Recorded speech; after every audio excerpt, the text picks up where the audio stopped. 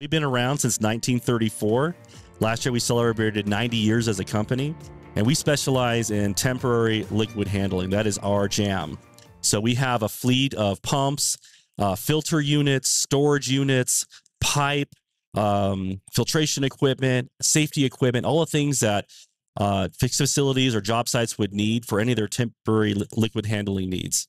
Yeah, it, it was funny. I was reading through like your history. It's really nice. We, we'll put a link to it because people should check it out. Uh, I saw when the first it was like uh, I saw the fittings, rags, nails, hatchets.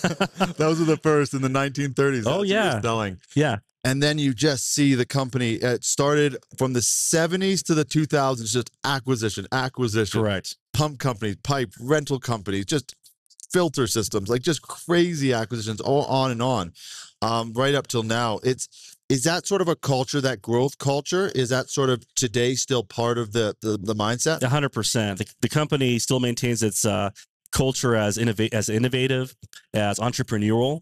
So Mm. we're always looking for ways to um, expand our ability to serve our customers in in our markets that we serve.